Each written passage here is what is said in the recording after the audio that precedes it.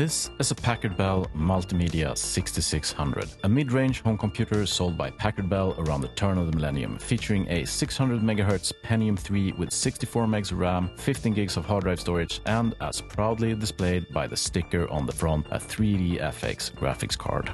Those are pretty ordinary specs, but what piqued my interest about this machine is that the 3DFX graphics are actually integrated on the motherboard. Yeah, I never knew that was a thing until I spotted this thing in an online auction. Unfortunately, it was sold as not working, so let's dive into this thing and see if it can be brought back to life, and if so, see what those onboard graphics are all about.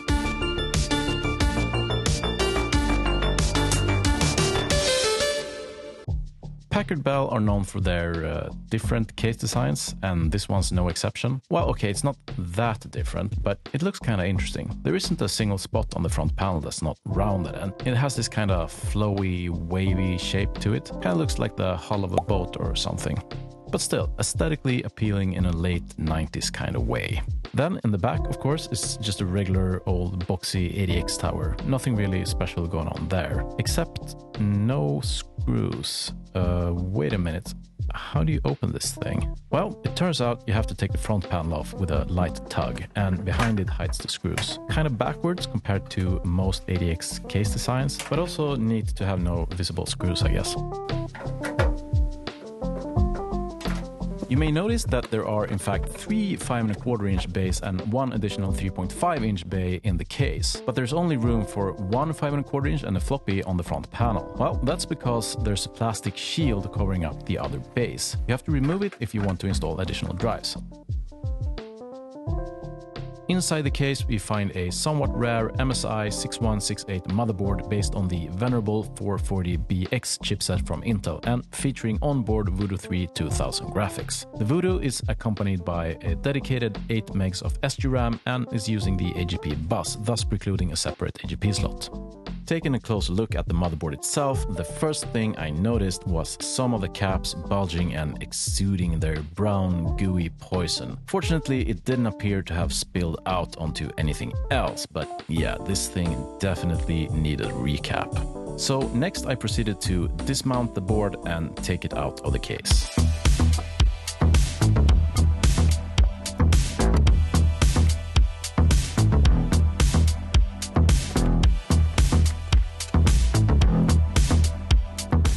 Before I began desoldering stuff, I removed the CPU and went over the board with an anti-static brush in order to get rid of some of the dust that had collected there over the years.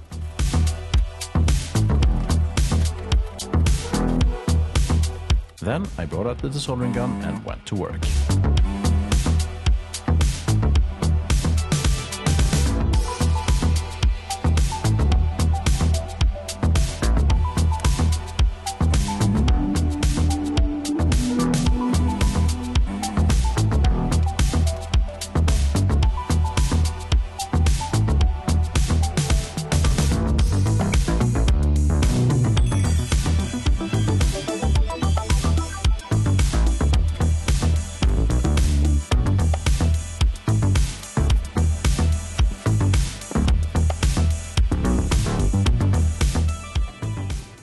Okay, so now that I had replaced the bad caps, it was time to test the board and see if it would show any signs of life. So I went and got the power supply. I was a little bit wary that the power supply might also not be entirely healthy, so before turning it on, I decided to open it up and have a look.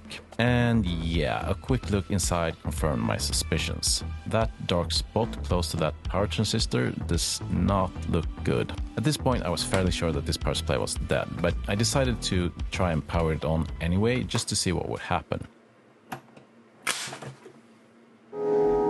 Jim. Yeah, thanks, McCoy. I got that.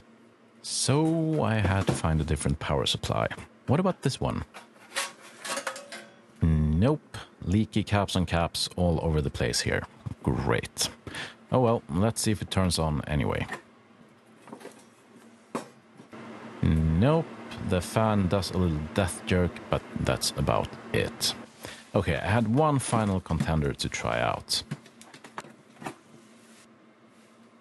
Alright, finally one that appeared to work. So I brought out the multimeter to check the voltages.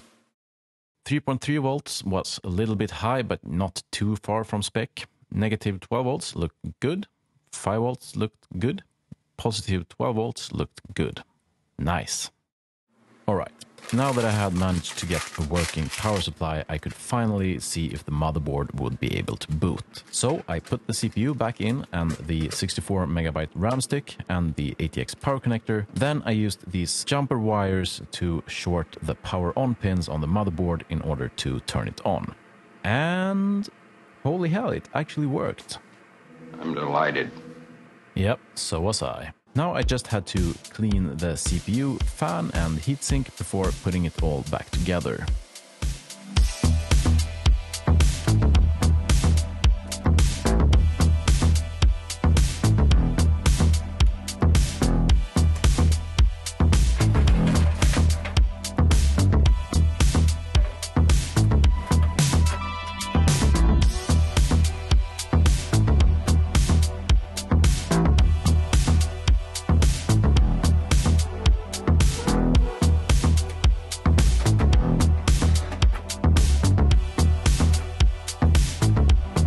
Had put the board back in the case again and put about a bazillion screws back in, I booted the machine up and no keyboard detected?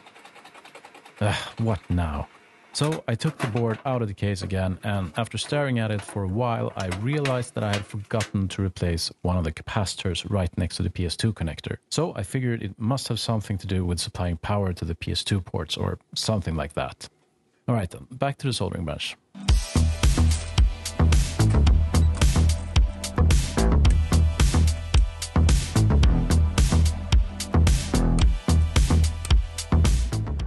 And a quick test in a component tester confirmed that this capacitor was indeed bad.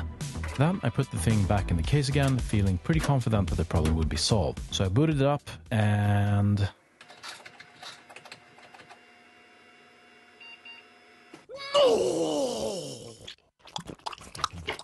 Yeah, I feel you, Pingu. At this point, I was pretty much out of ideas. I replaced the CMOS battery just because, I don't know, some motherboards can behave strangely with a dead battery, but no luck. So I took the board out again and stared at it for another while. And then I spotted something on the actual PS2 ports. Yeah, that doesn't look right. Looks like someone jammed something in there that's not supposed to go in there. Hmm. All right, I guess I have to replace the PS2 ports then. So I scavenged a similar double PS2 connector from a dead motherboard I had lying around, soldered it in, put the board back in the case yet again, fired it up, and this time it finally worked. All that was left to do now was to put the rest of the stuff back in and enjoy a working machine. I added a PCI network card, replacing the 56k modem that was originally in there. I also replaced the 64 megabyte RAM stick with two 128 megabyte sticks for a total of 256 megs, which should be plenty for games and programs of this era. I also had to replace the hard drive because so I put in this newer 160 gig Hitachi drive instead. Then I installed good old Windows 98, set up drivers and stuff, and then the machine was finally ready to go.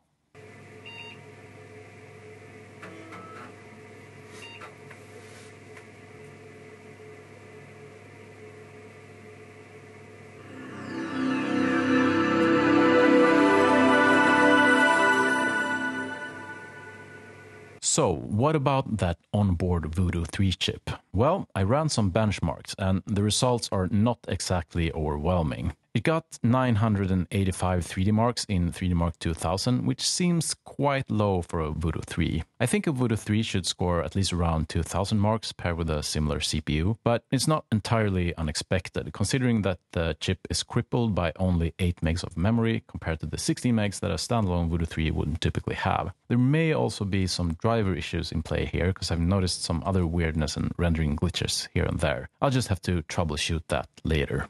Also, it's actually possible to upgrade the video memory to the full 16 megs. You just have to find the correct SDRAM chips and replace the factory ones on the motherboard. K2's Retro Workshop here on YouTube made a great video detailing that exact procedure, and if I ever get a hold of the correct chips, I'm very tempted to try this myself. But putting limited video memory and potential driver issues aside, I feel like this machine ticks a lot of boxes for me as a late 90s gaming PC. It plays most 3D games I'm interested in pretty well for the most part, a few frame drops here and there, but nothing too bad. And pretty much all 2D games of this era will run perfectly fine on a Pentium 3. Even DOS games should work quite well, and since the motherboard has an ISA slot, I could always put an old Sound Blaster 16 in there for optimal DOS compatibility. I also just find the whole integrated Voodoo 3 thing neat, even if it may be a compromise in terms of performance. It's a bit odd, but that's what this channel is all about.